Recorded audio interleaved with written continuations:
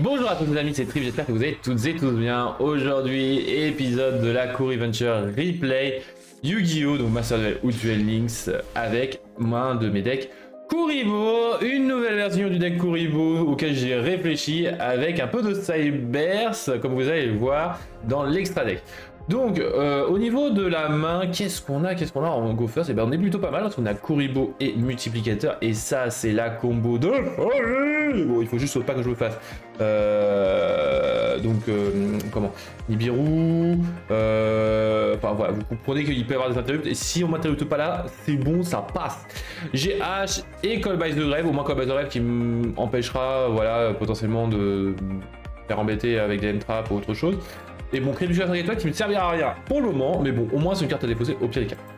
Donc qu'est-ce que je vais faire? Eh bien je vais énorme Kuribo, into multiplicateur, SP ainsi, 5 tokens. Et l'important c'est le 5 tokens, donc 5 monstres. Avec deux tokens, bon, un play usuel, on va faire IP Muscarine, hein, qui est Cybers. Avec un token, on va faire un lien Kuribo avec bon lien Kuribo et un token, comme ça moins les Kuribo sont au cimetière et comme ça je pourrais SP si j'ai un Kuribo. Je vais faire dragon de sécurité. Pourquoi? Parce qu'il Cybers. Là je ne ferai pas son effet, mais bon, voilà. Lien Kuribo invoqué en sacrifiant un token, voilà. Et je vais invoquer le dragon par feu, fluide. Oh Feu Attendez, ah, pas d'interrupt s'il vous plaît. Né, euh, Dragon par feu de fluide sombre, Néo Tempête, Terra Hertz. Pourquoi? Parce que ça annule les effets de monstres activés durant, durant la battle phase pour l'adversaire. Et en plus de ça, je vais pouvoir envoyer un Cybers pour euh, lui faire gagner un attribut. Et en plus de ça, gagner 2500 d'attaque. Et là, ça va être intéressant, parce que vous allez voir. Alors, là, je me fais H-Head. Sauf que H, elle va se faire euh, call by. On va rester politiquement correct? Voilà, j'ai appuyé là où ça fait mal c'est-à-dire au cimetière. Et maintenant, on va pouvoir foolish, qui ça, un cyber foolish qui, on va foolish, hop, annule sauve, annule sauve worm, cyber qui, euh, quand il est au cimetière, je peux le bannir pour annuler un euh, l'activation d'une magie piège ou un effet de magie piège. Comme je contrôle un monstre cyber de minimum lien 4. Donc j'ai une égate de magie déjà sur plate, plus H en main, c'est plutôt pas mal. Il fait fusion chimère, bah je vais l'annuler. Non, je ne veux pas tes chimères. Parce que s'il y a une chimère, ça part en cacahuète. Donc, non. Non, monsieur. Vous ne passerez pas. Cependant, polymérisation. Ah, voilà. Il utilise Berfomet et Gazelle pour faire chimère, roi, bête, fantôme. Classique. Hein. Effet de la chimère, effet de gazelle. Gazelle qui va permettre d'ajouter un monstre illusion depuis le deck à la main. Effet de gazelle pour pouvoir me faire moi à la fin de son tour. Une carte aléatoire. Cependant, Dragon Parfum va faire son effet et je vais euh, foolish énigmètre. Hop. Pack.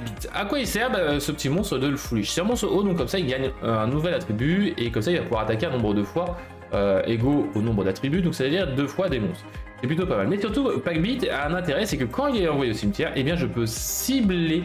Euh, hop, excusez-moi je peux cibler un monstre dans mon cimetière ou une carte face à deux contre mon adversaire. Je défais une carte et si je le fais, je place le monstre dans la zone magie piège de son propriétaire comme piège. Continue, passe, recto. Donc voilà, un monstre dans le cimetière ou un monstre passe recto, c'est pas, pas mal. Comme ça, je peux mettre son chimère roi bête fantôme dans la zone MP et comme ça, il a plus de chimère bête mythique volante. Voilà, et comme ça, bah, il va faire l'effet de son coatle pour aller chercher le chevalier épéiste, mais il doit refaire le play usuel et avec euh, bah, beaucoup moins de cartes quand même. Donc chevalier épéiste va fait Berfomet, effet de Berfomet pour aller chercher une gazelle en main et une fusion chimère. Et là il repart, puisque fusion chimère n'est pas du once per turn. Le fait de se recycler, oui c'est du once per turn. Gazelle, Berfomet et euh, Driver vont être utilisés pour faire gardien chimère. Effet pour draw et cibler et détruire. Effet de euh, pour respect un illusion depuis le cimetière. Cependant, il va essayer de détruire. Je vous rappelle que Dragon par feu euh, de fluide sombre a été invoqué avec IP. Donc il s'en moque de la destruction mon Néo Tempête. Et donc il va rigoler. Très bien. Bah fais ton play, monsieur. Fais ton play, enfin monsieur ou madame. Donc pioche 2, c'est cool, au moins il va pouvoir. Bon, moi j'ai besoin foolish, malheureusement par l'effet de son chimère roi bête fantôme, ça négate pas son effet, par malheureusement. Et j'ai pioché quoi? Imperm, c'est plutôt pas mal. Dragon parfait va faire son effet. L'épéiste va chain pour faire une invocation spéciale d'un monstre qui mentionne fusion chimère. C'est classique pour éviter que je l'embête un peu trop. Et je vais encore mettre pack beat, comme ça Gazelle va aller en zone MP, ce qui lui fait une gazelle en moins et donc une bête en moins, ce qui va être très embêtant, euh, jeu de mots, euh, pour ces fusions chimères. Surtout que l'autre, je peux le gérer, j'ai 10 500 d'attaque, donc ça va, ça va. Là, je commence à être bien, je commence à être bien. Bon, après, il reste 800 points de vie. 800 points de vie, ça peut être énorme. Bon, il repose une carte, c'est cool, il pose un monstre. Problème, c'est que bon, s'il pose un monstre et que je pioche quoi? Kuribo Astral, super, mais bon, il y a que son attaque. Et contre la max, contre la max qui pouvait être embêtant euh, parce que j'aurais voulu euh, sacrifier Kuribo Astral pour faire un Kuribo, mais je ne vais pas le faire. Je vais attaquer chaîne de lutin tranchant, et avoir faire son effet, cependant je l'annule. Et j'ai avec Kuribo Astral pour infliger 100 points de dommage. Je ne fais pas l'effet d'un Kuribo pour éviter qu'il pioche.